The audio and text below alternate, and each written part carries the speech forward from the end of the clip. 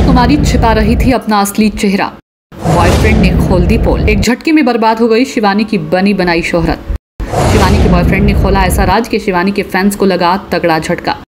लोगों ने कहा, झूठ बोल रहा है ये लड़का। बिग बॉस के घर में पहली बार बंद हुई शिवानी की बोलती। बॉयफ्रेंड के इस एक आरोप से बर्बाद हो जाएगा शिवानी का करियर टूट जाएगा बिग बॉस जीतने का सपना। शिवानी कुमारी इन दिनों बिग बॉस जीतने का सपना, शिवानी कुमारी इन दिनों बिग बॉस के घर में जमकर बनी हुई है। उत्तर प्रदेश के औरैया ज़िले की रहने वाली शिवानी कुमारी अपने देसी अंदाज से दर्शकों का ध्यान अपनी ओर खींच रही है। हालाँकि इस बार वो शो की बजाय अपनी निजी ज़िंदगी को लेकर चर्चाओं में बनी हुई है। हाल ही में एक शख्स कैमरे के सामने आया और उसका दावा है कि वह शिवानी का बॉयफ्रेंड है।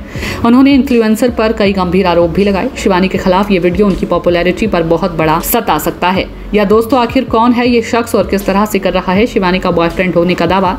आज के इस वीडियो में आपको बताएँगे पूरी खबर। लेकिन उससे पहले आपसे छोटी सी रिक्वेस्ट है कि अगर आप भी शिवानी कुमारी के फैंस हैं और इस लड़के की बात को आप भी झूठ मान रहे हैं तो फटाफट से वीडियो को शेयर करें, ताकि शिवानी के चाहने वालों तक उनकी असली सच्चाई पहुँच सके। और लोग जाने की शिवानी जो कुछ भी बोलती है, वह सच बोलती है और साथ ही साथ कमेंट बॉक्स में शिवानी कुमारी को लेकर के हमें राय भी ज़रूर बताएँ।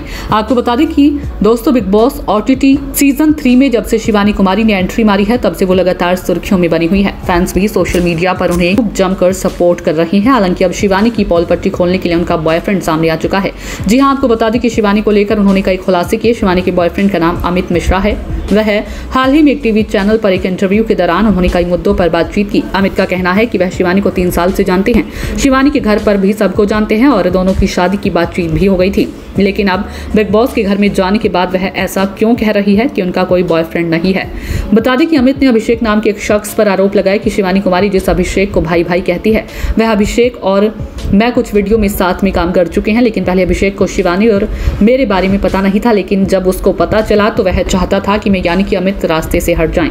अमित का कहना है कि वह और शिवानी कुछ समय के लिए अलग हो गए थे क्योंकि उनका मानना था कि दोनों तरक्की कर ली, फिर बाद में शादी कर लेंगे। बता दें कि बिग बॉस के घर में शिवानी का ऐसा कहना है कि वह बहुत गरीब परिवार से आती हैं। और उन्होंने बहुत गरीबी देखी है। सवाल पर अमित मिश्रा ने शिवानी की पोल खोली और कहा, वो झूठ बोल रही है। वो गरीब थी, पर अब नहीं है।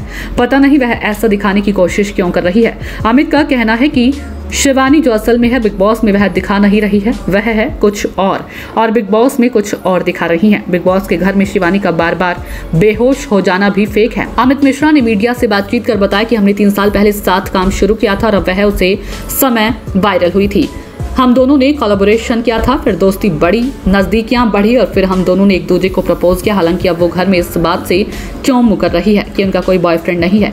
ये मुझे समझ नहीं आ रहा। हालाँकि अमित की ये बातें कितनी सही है या कितनी गलत है, ये तब पता चलेगा जब शिवानी इन बातों पर रिएक्शन देगी।